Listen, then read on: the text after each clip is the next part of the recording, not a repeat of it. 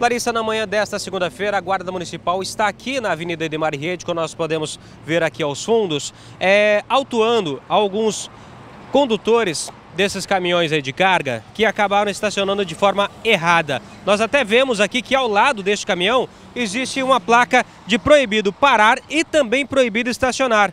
Mesmo assim, o caminhão está aqui parado e até na contramão.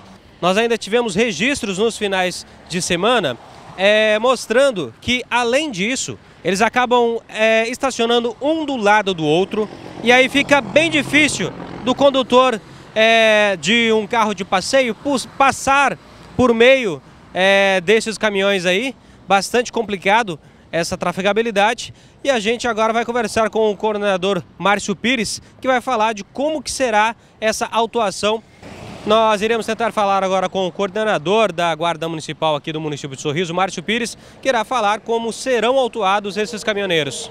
Aqui é uma rua, ela está totalmente sinalizada, tá? Conforme foi feito pela Secretaria Municipal de Segurança Pública.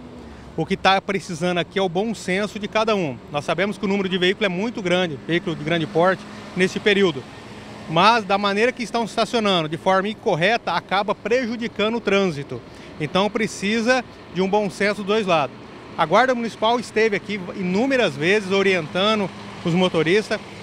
Muitos acabavam é, aceitando a orientação, mas alguns não aceitaram e continuam estacionando de forma incorreta. E para não prejudicar o trânsito, a Guarda Municipal está fazendo agora a fiscalização. Então nós temos aqui fila dupla, tá?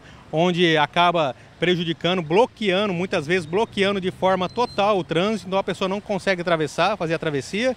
E temos também inúmeros veículos estacionados na contramão de direção. Então todas essas irregularidades estão sendo fiscalizadas pela Guarda Municipal, conforme pede o Código de Trânsito Brasileiro. Lembrando que fizeram vários dias aqui de orientação antes da, de gerar a multa de trânsito. Hoje a multa está sendo aplicada e que multa é essa?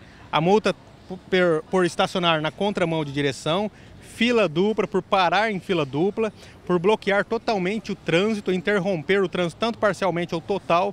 Inúmeras multas estão sendo feitas, conforme nós chegamos aqui e verificamos o tipo de infração.